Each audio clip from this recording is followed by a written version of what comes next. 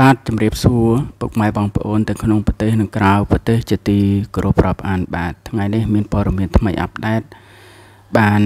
បញ្ជាក់និងបង្ហាញថារកឃើញនៅទីតាំងកន្លែងធ្លាក់ឃើញហើយ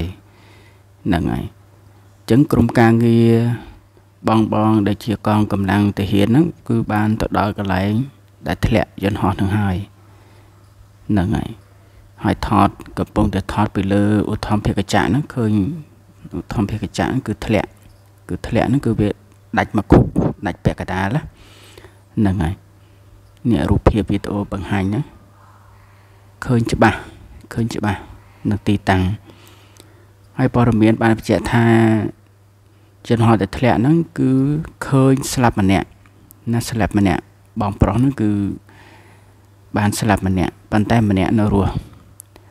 ហ្នឹងហើយម្នាក់នៅរស់ហើយក៏បានយកអាវហ្នឹងទៅគ្រប សាកសពគាត់ដែលបានស្លាប់នឹងនឹងអញ្ចឹងយើងក៏សូមមានការសោកស្ដាយនិងចូលរួមរំលែកទុក្ខជាមួយក្រុមគ្រួសារផង ដោយគ្រោះថ្នាក់ដែលយើងមិនអាចមើលឃើញហ្នឹងហើយសូមចូលរួមរំលែកទុក្ខផងនិងសោកស្ដាយយ៉ាងប៉ុនពេកហ្នឹងហើយអ្នកដែលមានធនធានចំណេះជំនាញណា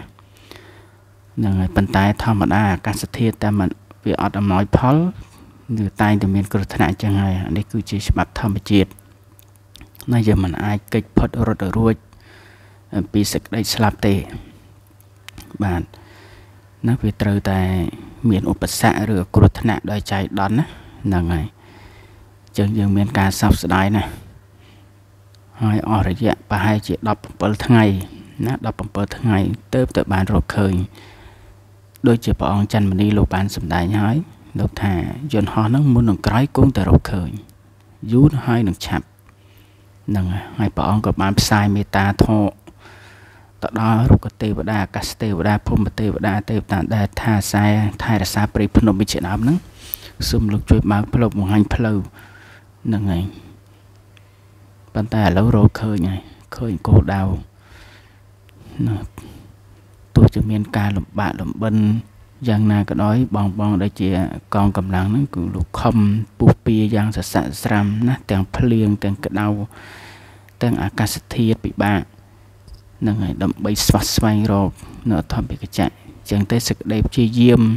នឹងពុះពៀនៅរាល់ឧបសគ្គទាំងឡាយទាំងពួងហ្នឹងគឺបានសម្រេចគឺបានជោគជ័យ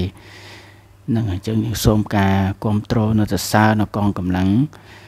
ដែលបានចំណាយពេលចំណាយពេលវេលាដើម្បីស្វះស្វែងរកតតែឃើញហ្នឹងហើយហើយក៏សូមការចែកម្លែកនៅសេចក្តីទុក្ខជាមួយក្រុមគ្រួសារនិសពផងប៉ុន្តែម្នាក់ដែលនៅរស់នឹងកំពុងតែតាមដានណាកំពុងតែស្រាវស្រាវជ្រាវរកពីព្រោះគាត់អត់បាននៅទីតាំងនោះទេមិនដឹងថាគាត់ដើរទៅកន្លែងណាទេយើងក៏មិនដឹងដែរណាអញ្ចឹងទេបងបងកំពុងតែរកគាត់ដែលកំពុងនៅរស់នឹងបាទ